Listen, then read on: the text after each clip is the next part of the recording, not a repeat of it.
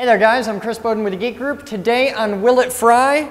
Magic Dough, which is in no way to be confused with Play-Doh because they might sue us. So let's take it right out of the can. We don't need that. We've got a nice big wad here that we'll put on our plate and uh, see what happens. Magic dough. It's made of magic. It's made of sunshine and joy. Needs to die.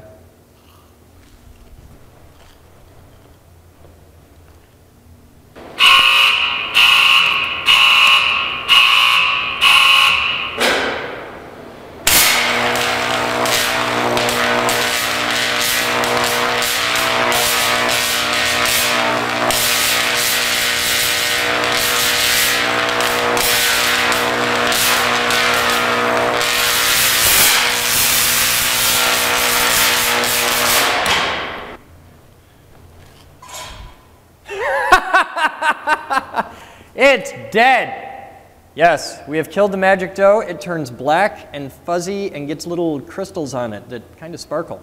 So, yep, magic dough is dead.